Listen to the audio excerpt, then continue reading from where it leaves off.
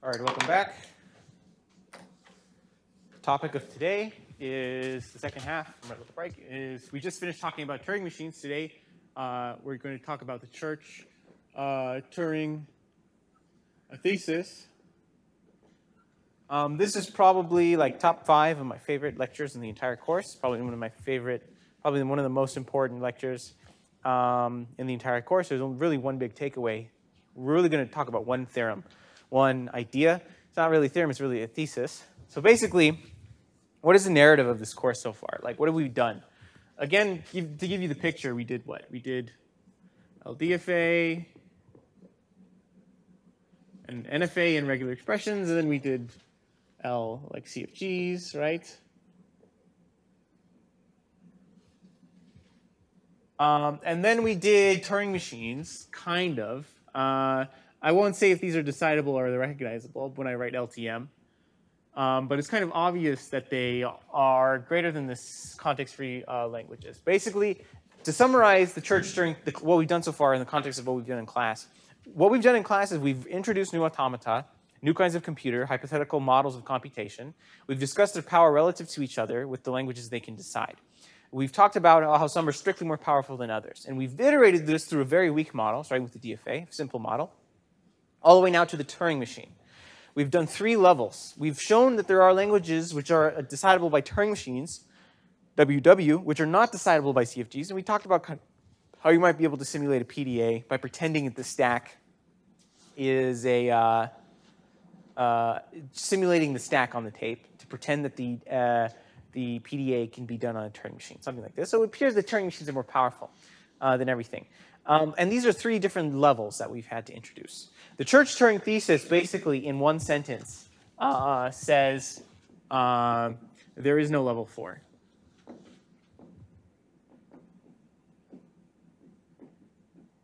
So we're really stuck on level three. Maybe whatever you make intermediary levels, you know, deterministic, context-free grammar, context-sensitive, whatever.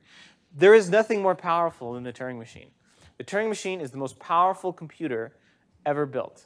Yet it is incredibly simple in its construction and its design. It only has three instructions, read, write, and move. However, the Church Turing thesis says it, that's it. That's it. It's the, it's the uh, precipice. It's, it, it, that's it. That's it. End of story. Um, most books kind of like wave this through, and I don't really like that. Every book has, every book on any computer science subject may have one paragraph in the Church Turing thesis, even if it's not a, even a complexity book. Um, even, but it, they don't do justice to the theorem because some people I've talked to, they're like, it's kind of obvious. Uh, it says something kind of obvious that the that the so the Turing machine is is the most powerful computer. The Turing machine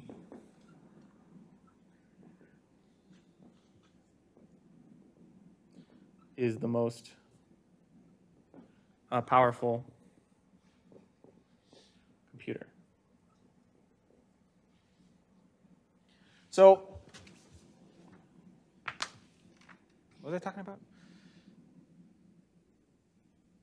Anyway, I lost track of myself. But basically, there is no more powerful computer than the Turing machine. You're not going to be able to build something strictly more powerful than the Turing machine. Every time, and we'll talk about this for like three lectures, anytime you could try to build something that's more powerful than the Turing machine, turns out it's as powerful as the Turing machine. The Turing machine has just enough going for it to do anything and everything you could do with an actual computer. Oh, right, most books kind of hand wave it away, like the Turing machine effectively models algorithms or something like this. There's like one paragraph in each book, and I'll link you guys, I have a PDF of several books that I've sniped out the one paragraph that they have in the Church Turing thesis, and you can compare their presentation uh, to each other. Seeing 10 people explain the same thing, maybe it'll help you understand this thing.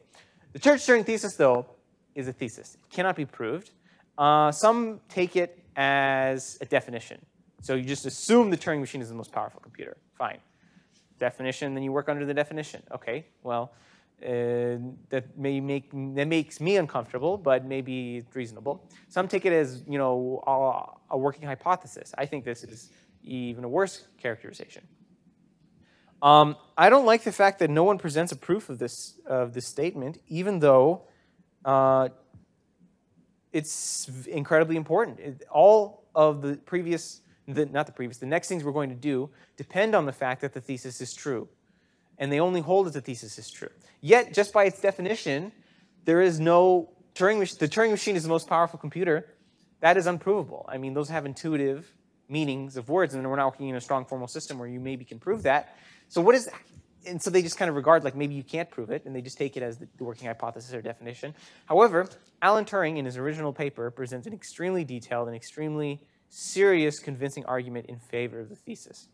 Uh, and that's basically the goal of today is we're going to present his, uh, his argument um, mostly. Before we talk about the argument that Alan Turing gave, I want to talk about Alan Turing himself. So Alan Turing was a genius, and you know I don't think people respect how good of a genius he was. You know, so like growing up, everyone knew the name Einstein as like a like smartass, right?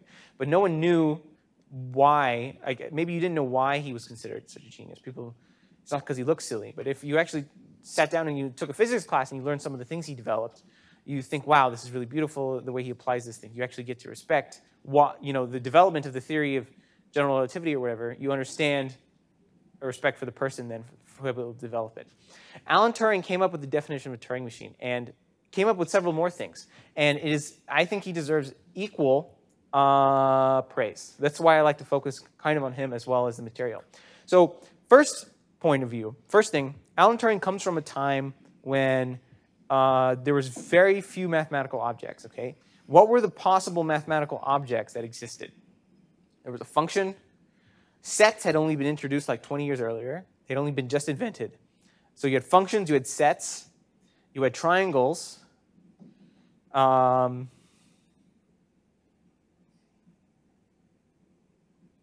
I think that's it. Every object, every mathematical object you can think of is a function, a set, or a triangle. I can't think of any other primitive mathematical objects around the time.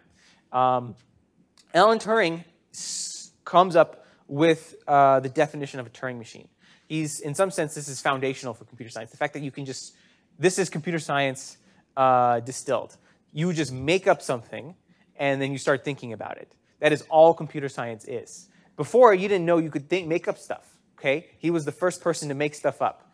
This is a definition of a Turing machine, and his definition varied slightly and so on. But he said this is, and he of course didn't call it a Turing machine. That would be uh, cynical. But he gave up with this definition of a device, and he started reasoning about the device.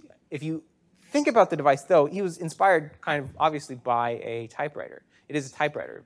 The, you, the typewriter can move left or right, uh, and so on. He goes to great lengths, though, uh, because he's working in a time where no one has ever seen a new computer. A com no one knows what a computer is, okay? People do calculations by hand. Uh, he has to convince an audience of his peers that this is an, an, acceptable definition. So you and I know what a computer is. You and I know what an if statement or a loop is. We have we've worked in a model where we do computation. These guys didn't know what computation was. Okay, an abacus was about it. So he has to convince an audience of his peers who are people who study triangles, they're geometers, analysts, set theorists, whatever. They're not certainly computer scientists. Alan Turing is the first computer scientist, so he has to go convince these people this is a good definition. So we're going to present his argument about why the Turing machine is a good definition. Alan Turing also uh, did a lot of other very famous things. He helped, uh, so he solved this problem. He developed the definition of a Turing machine specifically to solve one problem. And we'll talk about what that problem was that he solved. It's called the Church-Turing thesis because Church, Alonzo Church, Princeton, beat Alan Turing to the press by like a few months. He also solved the same problem. He came up with a, and he came up something, he didn't come up with the Turing machine at all. He came up with a very more complicated proof, a very messier proof. He invented lambda calculus. Have you guys heard lambda calculus? You use lambda calculus as a subset of a programming language, in some sense, lambdas. That's all his, his stuff. Um, it was messy. It was terrible. It did technically solve the same problem, and he had a version of the Church-Turing thesis. But Turing had a much better one.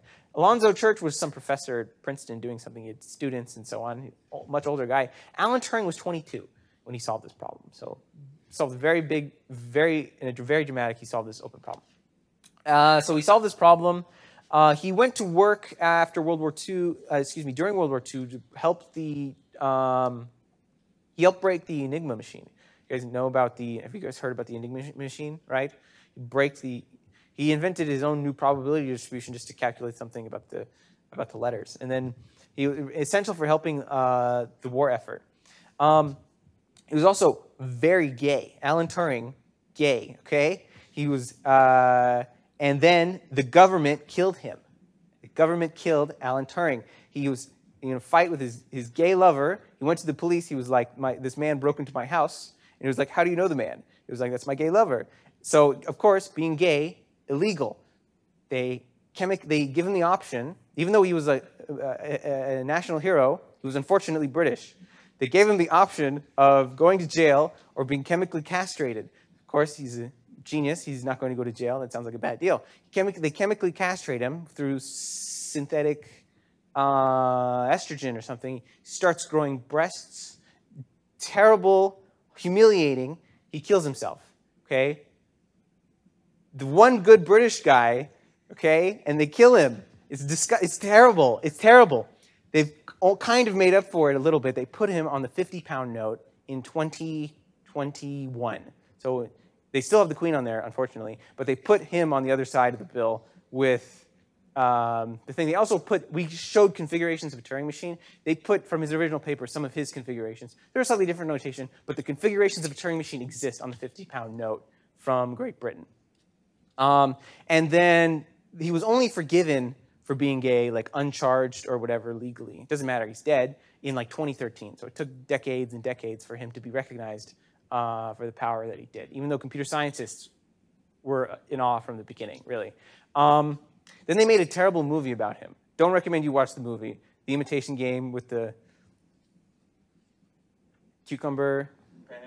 Yes, terrible movie. They made him. They made a. They made a passionate, romantic movie about his fake straight relationship. Gay guy was super gay, and they made a movie about the fake straight thing. Come on. And they had. They were both. They were both ugly. They, they had the most beautifulest actresses play the people in this dramatic, and they made him look like a super. You know, sometimes they make these geniuses unlikable and like I'm so much smarter, and then they have like the the Hololens UI pop up for how smart, whatever. I don't know. They just they did this man. It's terrible, terrible. Uh, they're going to hell. I mean, anyway, Alan Turing. Uh, I think more important than Einstein in his foundation. The fact that the, the takeaway by the Turing machine, the Turing machine definition itself is not that important.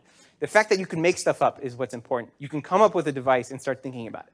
That was fantastic news. Only a few times in history has that ever been done. It was the first time it was done was someone thought of, of a triangle. It's really a Platonistic idea. The idea is an object itself. You can think of a thing and start thinking about it. Okay, triangles existed thousands of years ago. Uh, late 18th century, 19, excuse me, late uh, 19th century, someone comes up with the idea of a set.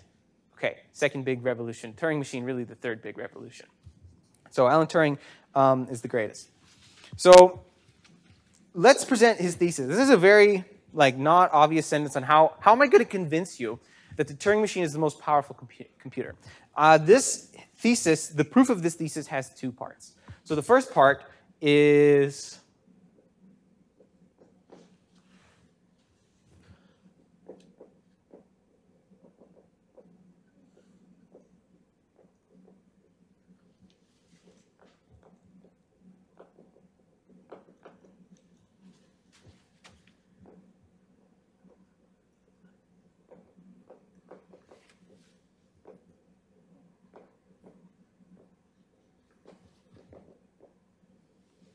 Uh, there is no computing device strictly more powerful than the human mind. This is a statement which perhaps is obvious to you, but we, I think, deserves some discussion. The second point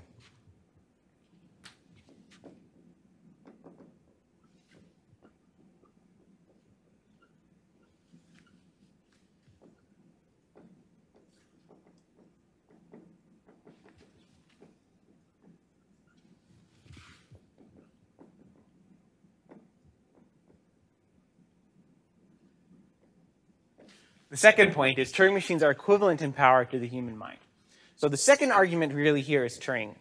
That's the one we're going to focus on today. But I think the first one is an unstated assumption for most discussion of this, and it requires, um, I think it requires like at least a sentence of discussion. There is no computing device strictly more powerful than the human mind. Okay, so let's try and reason about this. I gave you a DFA, I gave you an NFA, I gave you a PDA, CFG, whatever the way you executed this is you imagined the object in your brain, and then you imagined the input running on the device. So you quite literally simulated the device in your head. So if we have like, uh, so for example, we proved like LDFA, uh, L, CFG, or PDA. There's a lot here. But these are all certainly contained in a class we could call L human. Right? L human is a very large class problems. Any class of problems that have a definition in which you can simulate on the neurons in your brain. Okay? Very big class. We're not even sure it doesn't contain everything. Certainly might contain everything. Every language might be an L human. Um, so if there exists a device such that you can fathom about it, you can reason about the device itself, then that, then that entire class is a subset of L human, certainly, right?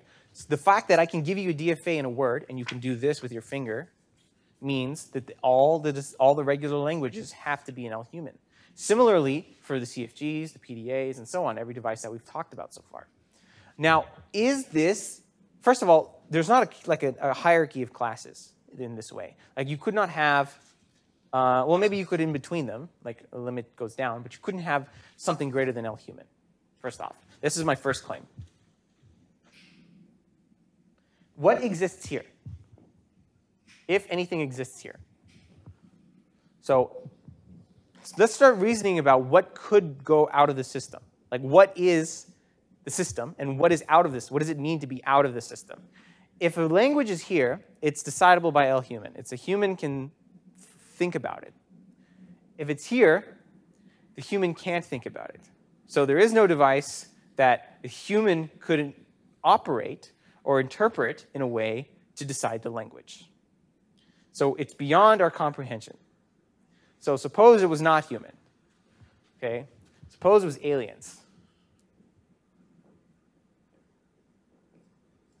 Maybe it's aliens, okay?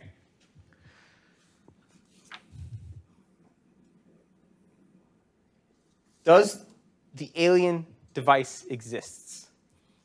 Um, I'm not asking you, do aliens exist? I'm asking you, is there a computational object, a device, which is unoperable by a human?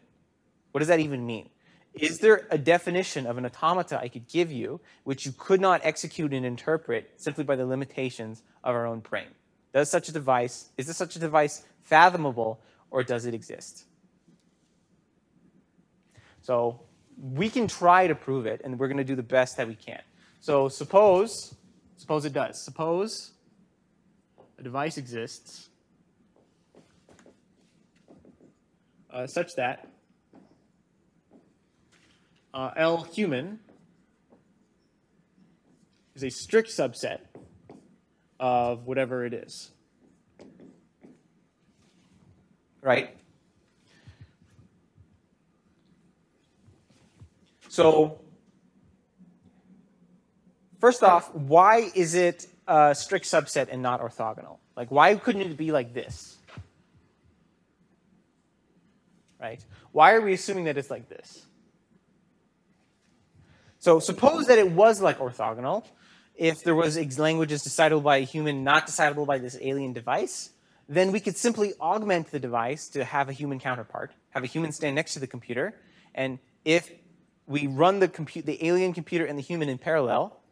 Whichever one returns first uh, returns the answer. So we may augment the alien computer to have a human counterpart so that now it is strictly more powerful and not simply orthogonal. So we have this picture then, if it exists, and not this one. Um, if it's beyond our comprehension, then we couldn't build it. So it has to be aliens. Something.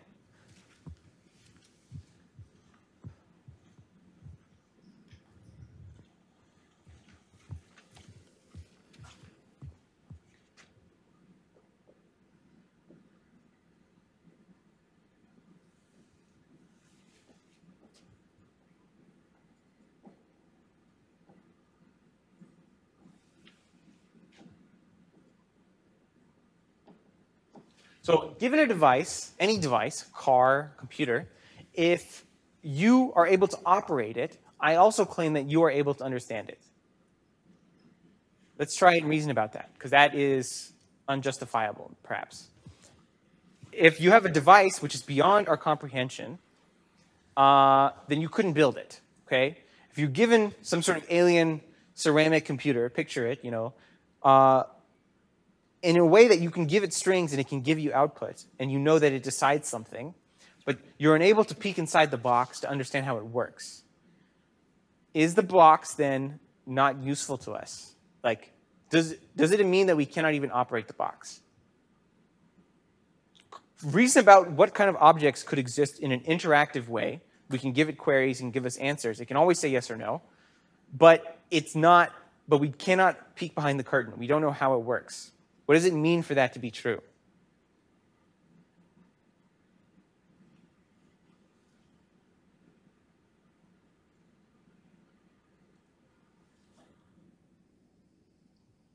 Yeah.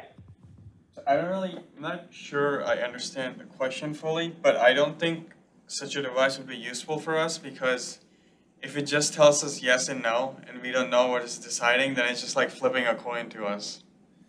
Sure. Yeah, yeah, yeah, yeah. So, yeah. Yeah, yeah, yeah. I would. I don't know about the the coin analogy exactly because there's some probability involved in there, random oracle kind of stuff. But certainly, if we don't know what it Suppose we did know it, what it decides. Suppose we're trying to flesh out the philosophy here, okay? Uh, the way we're going to do is we're going to make several small arguments and then hopefully argue that the composition is, is, is convincing, therefore the argument is convincing.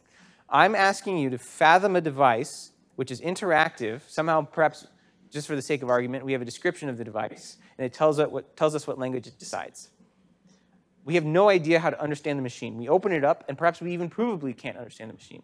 It's provably beyond our comprehension. We see, you see a car, you know, some people only interact with the car in a black box where you push the pedals, okay? But you can take apart the car and try and understand all the gears if you really wanted to, okay? This device is un, beyond our comprehension. We're assuming to the contrary it exists. It's beyond our comprehension, but somehow still useful. Can such a device exist? Yes? I thought by saying that there's nothing stronger than a Turing machine that that's not true. Yeah, we're trying to prove it. Oh. Okay. Yes. So suppose there is something more powerful than Turing.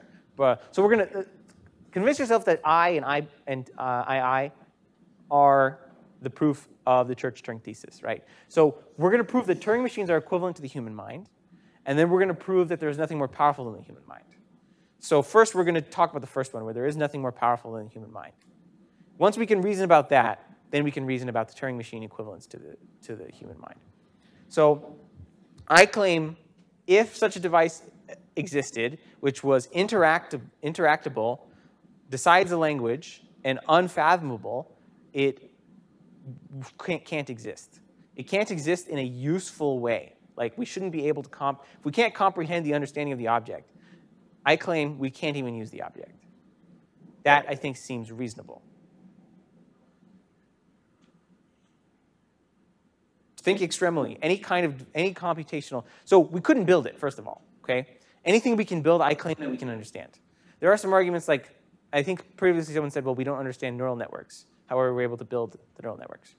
We understand why. We don't understand why things maybe do what they do, but we certainly understand what they do. Like we don't know how gravity works, but we certainly know very detailed, like the functions of equations of motion and so on, right?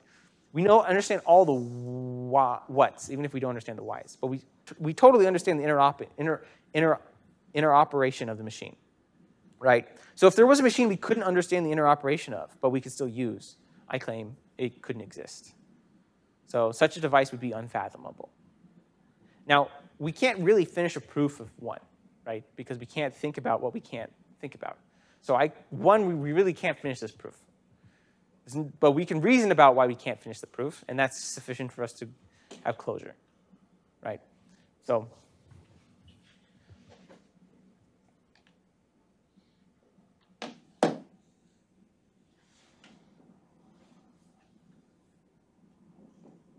So even if it did exist, if it existed in a way that was beyond our comprehension, then it doesn't make sense to discuss it. So suppose it wasn't useful to us. It did exist, it did decide languages, but it couldn't tell us the answer somehow. Maybe fourth dimensional something, whatever, right? We can't fathom it. That's fine. just we don't. It's it's it's unworthy of discussion. Even you know, it's like an agnostic God. Like it's a thought experiment. It does something, but not in a way that affects us. So why do we even think about it? Why care about it, right? So, so one is sufficiently argued, I would think. There is no computing device more strictly more powerful than the human mind, right? If there did exist a device, uh, then we could reason about it. If we can't reason about it, then it's not worthy of discussion. That's point one proven. Point two, Turing machines are equivalent in power to the human mind. This is Alan Turing's argument, and this is a really beautiful argument he has from his original paper. So again, I mentioned he was talking to people who, who came from a, um, you know, everyone thought everyone thought they knew what functions and um, everything was a function, a triangle, or a set at this point in history. So he's arguing to people why his definition of the Turing machine is a good one. Let's see if this shows up.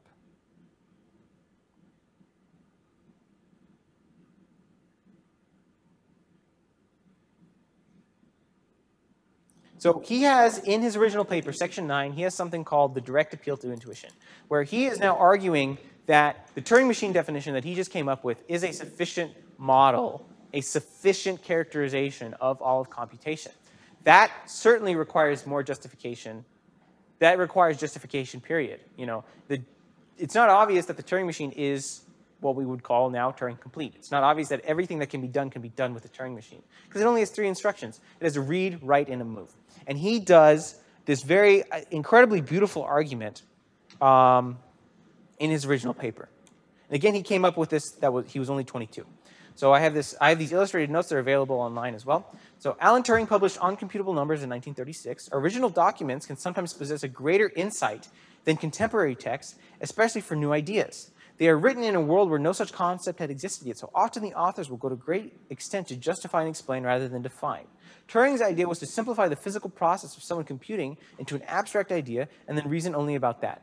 An entire section of his original paper is used to convince the reader that his well-defined machine-based definition of computable encapsulated the natural idea of computable. He gave three arguments, an appeal to, intuition, an appeal to intuition, a second definition with proof of equivalence to the machine-based one, and numerous examples of numbers that can be computed with Turing machines. Here we annotate, annotate his appeal to intuition. So just to be uh, expository in other parts, he gave some examples of specific Turing machines that begin with no input and print the digits of E or pi, things like this, using Bessel function, or I don't exactly remember. But he gave he put a lot of work in to convince people that th this is a definition. The moral of the class is we're trying to come up with a definition, a natural definition of what computation is. Like computation to you, you sit down and you write and you do perform a computation. No one would argue that a, a, what you can compute isn't computable. Something is computable if you can do it, right? I said at the first day of class, computation is doing things, okay? So we're trying to find a characterization of doing things. That's what computation is. So first, we have to take what doing things is and boil it down. So I claim you are a person, you are capable of doing things, okay? But you, as a system, are very complicated, okay? You have sensory organs and toes and you know what I'm saying? There's things going on. It's a complex, a human body is a very complex system. Do you need those parts to perform computation? Do you need your skin to perform computation?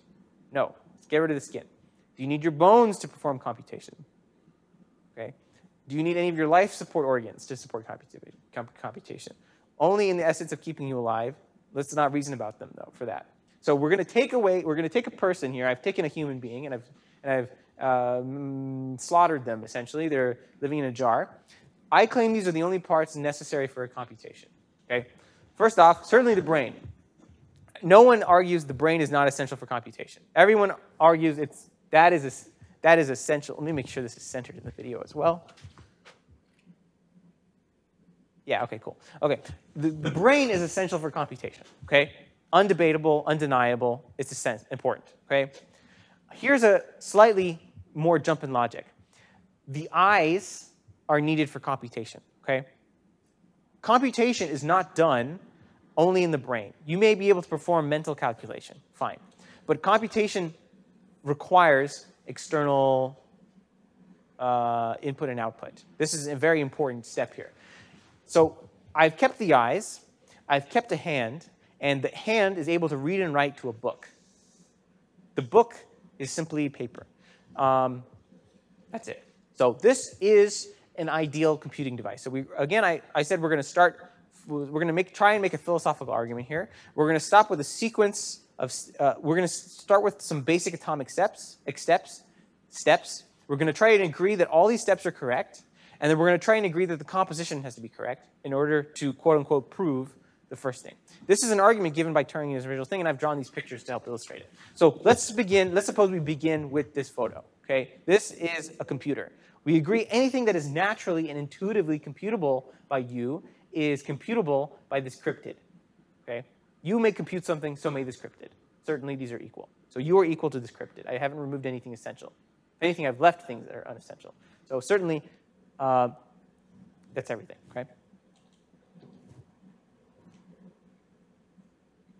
So here's, a, here's from his original paper. Computing is normally done by writing certain symbols on paper we may suppose this paper is divided into squares, like a child's arithmetic book.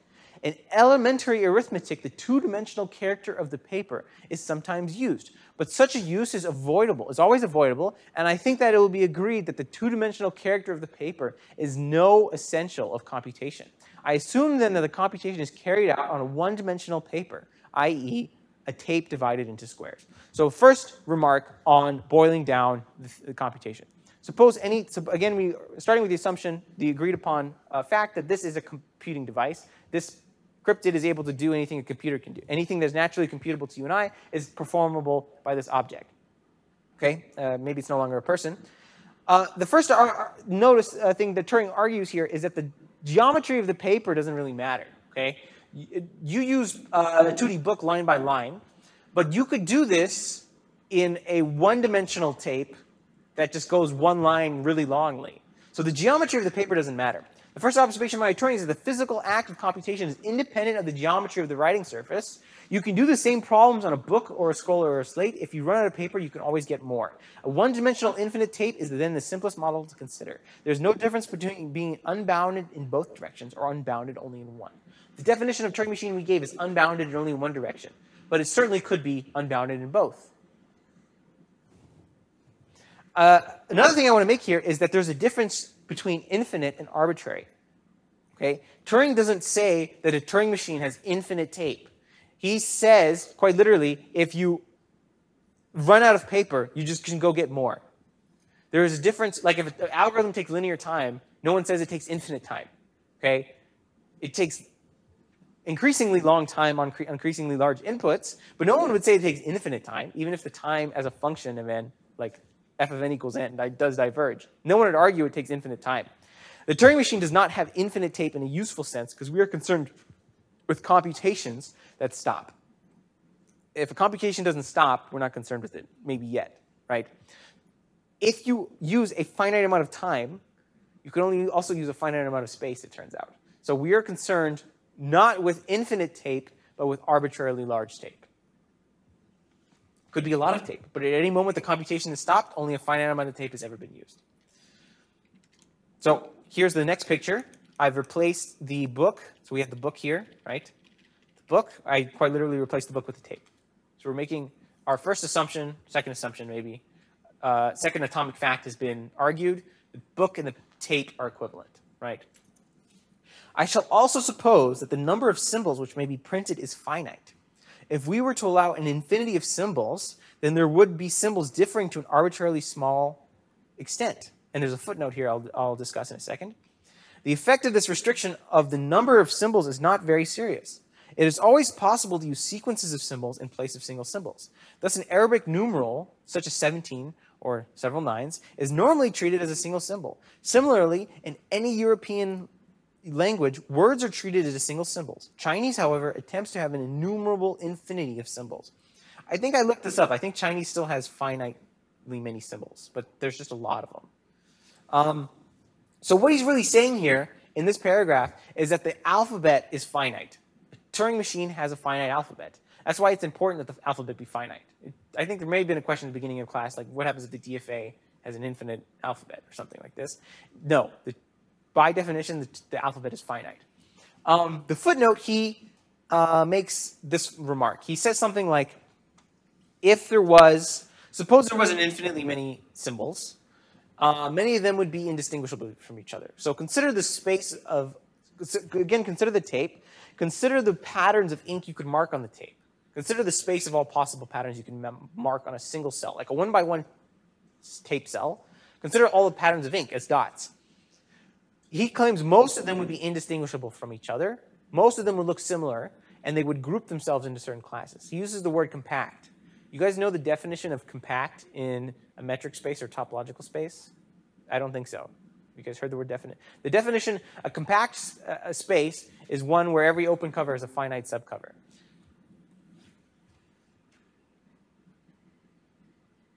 Whatever. So basically, if there did exist infinitely many symbols, he argues many of them would look too close to each other, and you then only can reason about finitely many of them anyway, right? There are many ways to write the symbol A.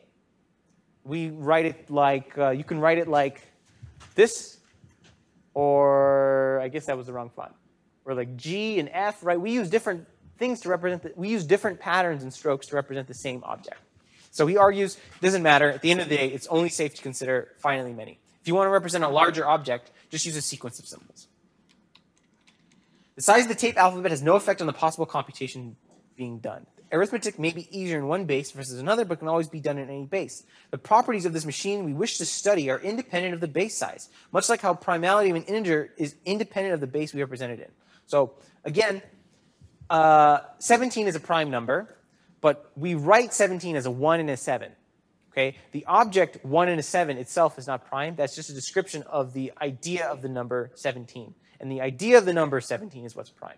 We may write 17 in a different base. It has more than one representation. And the property of the, the primality is a property of the object, the idea of the number 17, and not of the representation.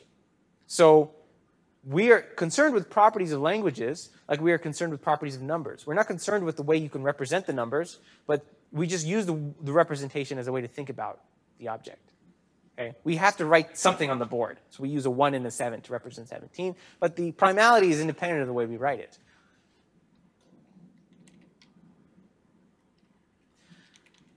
The behavior at the computer at any moment is determined by the symbols which he is observing and his state of mind at that moment we may suppose that there is a bound b to the number of symbols or squares which the computer can observe at any moment. If he wishes to observe more, he must use successive operation, observations. This is actually a subtle but extremely important point here. He's basically saying the tape can only look at a finite amount of squares at any moment. Okay? It, if it wants to, to look at more squares, it has to use more than one operation. This ends up being actually essential for complexity, turns out. Um, we we gave a uh, Turing machine which takes an input its tape and it flips every bit, okay? There is no finite, there is no computer which can flip every cell of the tape uh, in one step, okay? Implicitly here is a, a very physical restriction. The Turing machine in finite unit time can only do finite work, right? It cannot do arbitrarily large work in unit time, right? if you were to flip symbols, if you were to ask to flip a bit string, uh, you would take time proportional to the length of the string you're flipping. Okay, there is no way for you to naturally do things. You humans can't do things except one at a time. Okay, so neither can the Turing machine. It's restricted in this way to look at only finitely many squares. You as a computer can only process information from a finite amount of sources Eyes are a complex biological system, but an easy simplification of this is the tape head. It can only read or write to a fixed finite number of cells in a single step. So here, I replaced the hand, the eye, the input and output system to the brain. I've replaced that with a single, like a paper clip with a wire here, okay? It is allowed to measure exactly one cell at a time. Turing here, he says B, doesn't matter, okay? I, uh, our definition of a Turing machine says one we read one cell when we write to one cell. Convince yourself, though, that you could probably have an equivalent definition of a Turing machine which reads and writes to two cells or three cells, and it shouldn't make too much of a difference, right? We will also suppose that the number of states of mind which, take, which need to be taken into account is finite. The reasons for this are of the same character as those which restrict the number of symbols. If we admitted an infinity of states of mind, some of them will be arbitrarily close, and we will be confused. Again, the restriction is not one which seriously affects computation, since the use of more complicated states of mind can be avoided by writing more symbols of the tape. So here is a huge uh, and very important detail here. Q, the set of states as we've defined it, is finite. The brain operates between finite states of mind, and that's the word where the word state comes from. We, we could have used the word vertex or node when we talked about a graph, a DFA, but instead we chose the word state, and it becomes it comes etymologically from the words from the from the phrase state of mind. You're in a certain mindset when you're thinking about doing something, and then when you see a different input or output, you translate yourself to a different state of mind. You operate between these states of mind. Turing argues there's only finitely many for the same reason there's a finite alphabet. If there was infinitely many states of mind, uh, then certainly some of them would be confused and be arbitrarily close. It doesn't make sense to discuss this. He also says later on somewhere else, oh, I say it here, Turing states earlier that the justification lies in the fact that the human memory is necessarily limited. The brain is made up of finite matter, so memory must also be finite. If you suppose the existence of a Turing machine with an infinite number of states, then such a machine exists to decide every language. Compu computing structures are necessarily finite in description. So I made you guys prove that on homework one as well, right? Do you remember the DIA? I asked you to prove that every language is decidable by DIA. This is particularly why. It's kind of useless for us to talk about an infinite sized machine when we are finite beings in our interaction and our, our matter. Okay? We're concerned with a finite object, finite states, finite alphabet. We may now construct a machine to do the work of this computer. To each state of mind, the computer corresponds an M configuration of the machine. The machine scans B squares corresponding to the B squares observed by the computer.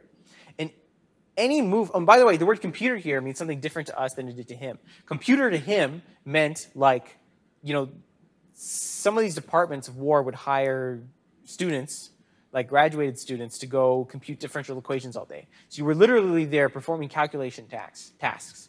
He means, by computer, he means a person. The machine scans B squares corresponding to the B squares observed by the computer. And any move, the machine can change a symbol on a scan square or can change any one of the scan squares to another square distant not more than L squares from one of the other scan squares.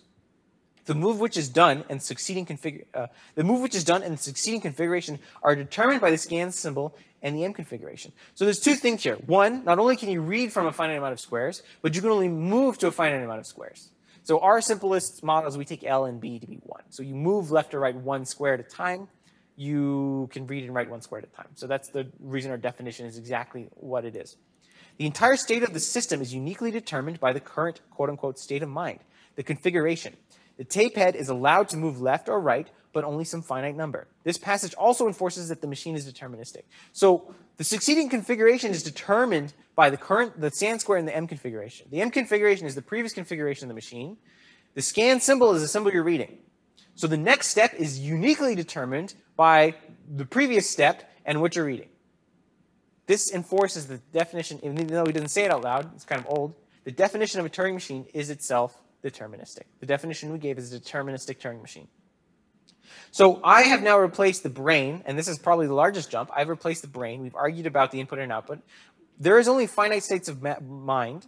Let's just replace the brain with finite states and a transition function that operates between this.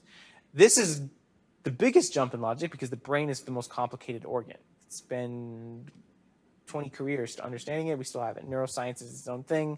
Machine learning is doing its own thing, whatever. But this is the greatest jump in logic uh, and our last one, where we replace the brain with the finite states of mind. The thinking about uh, thinking about thinking can be quite difficult, but distilling computation to its bare essentials, the Turing machine as a mathematical object can be reasoned about quite easily. This kind of justification was necessary to convince the reader that a Turing machine and a human and, a, and human computation are the same. So let's review what the argument is that we've, uh, that we've done so far.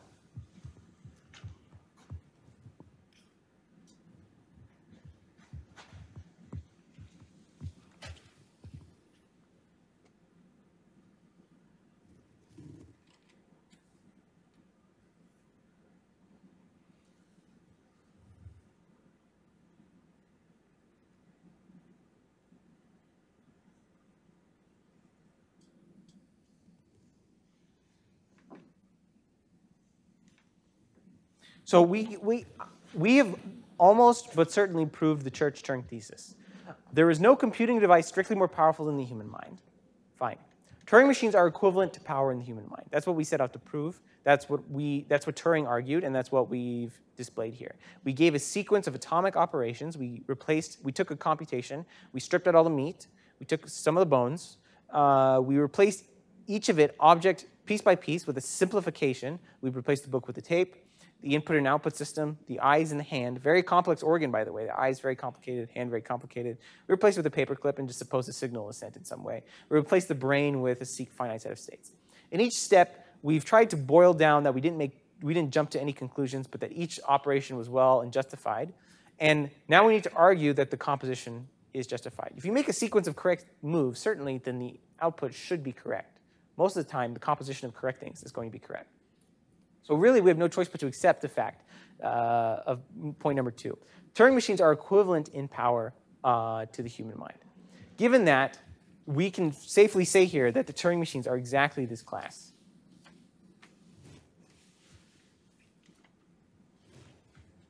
I lost my marker.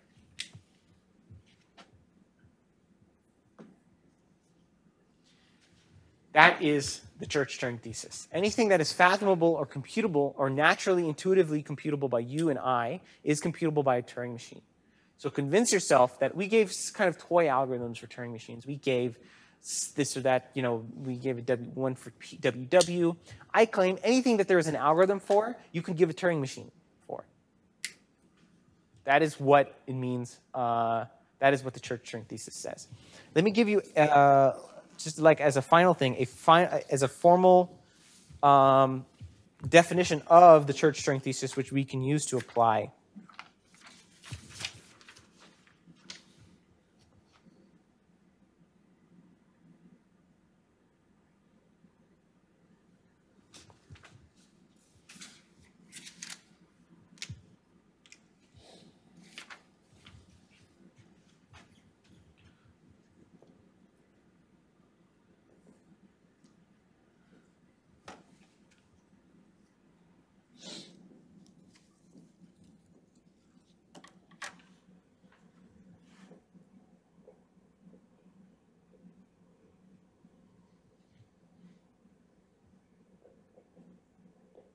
For any kind of mechanical process or decision procedure or whatever, C, uh, for all C, we can simulate the C on our brain. So every class of other automata you can come up with is a subset of the class uh, Turing machines, right? Anything you can think about reasonably you could build can be simulated by, you can create a Turing machine to do something equivalent. We can rephrase this also as there does not exist a C such that uh, C is strictly more powerful. So C is not greater. There's, no, does not exist a greater uh, C.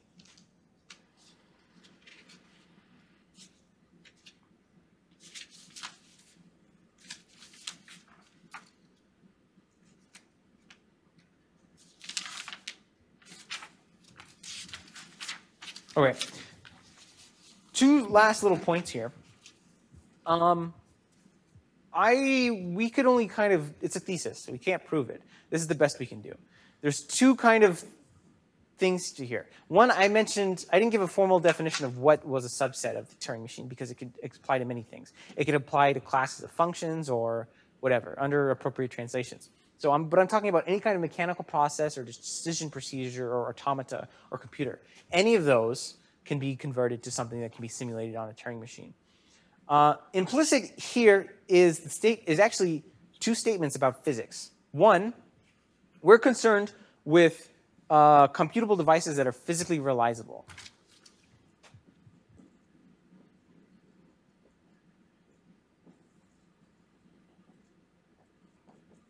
So we could have just said, of course, the Turing machine definition is made up, but it is inspired through our natural processes. We could have just said, suppose there exists a machine and a single instruction is allowed to flip all its bits on the input, on the tape, okay? Suppose it can do an infinite amount of work in constant time. That's allowed. You can just say things. You can make things up and reason about it, okay? But then you can't say, it's, it's, you can't say anything about our natural definition of computation. We're trying to have a natural definition of computation. So implicit was that is, is limitations of our own natural world. So we're concerned with devices that are real and not something hypothetical and unimagined. So implicit actually in, in, the kind of argument we gave today is sort of two, at least two, um, two traits. One, um, program descriptions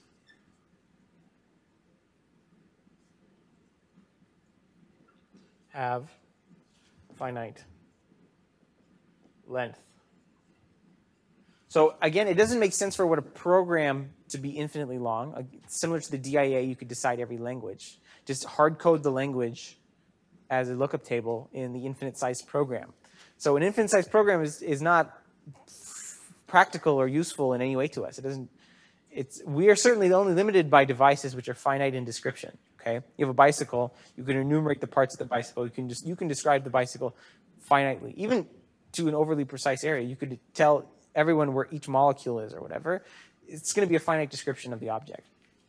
That's perhaps too detailed, but ob the objects we cons are concerned with are going to have finite description, certainly. Um,